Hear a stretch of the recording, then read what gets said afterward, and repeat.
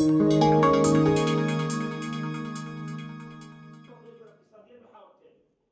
الاقتصادي في المسار تحت تحقيق هذا الحلم. نزيد نعاود يا جماعة الحلم الجزائري أسعى من خلال الرؤية السياسية والرؤية الاقتصادية والبرامج القطاعية لهذا البرنامج وبتوفيق الله وعونه أن تصبح الجزائر القبلة المفضلة في مجال الخدمات في العالم العربي ويزداد عدد المؤسسات الاقتصادية المساهمة في الثروة بعشرين بالمئة خلال خمس سنوات.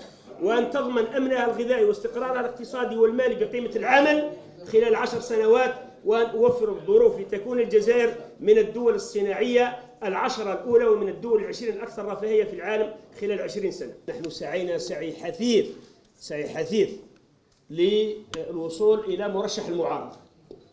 ويمكن اليوم أو, أو, أو غدا ربما سأعطي بعض التفاصيل على اتصالاتنا سواء الجماعية أو الفردية واقتراحاتنا آه، للعديد من الشخصيات بالاتفاق على مرشح المعارضة.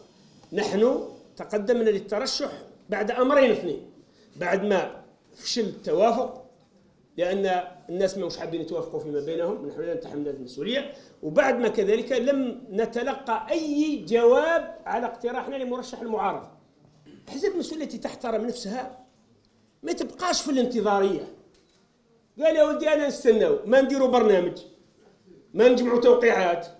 ما نتصلوا بالمواطنين. ما نفكروا ما نترشحوا ورانا ننتظروا كاش ما ربي ينزل لنا مرشح مشترك. هذا هذا تصرف غير مسؤول.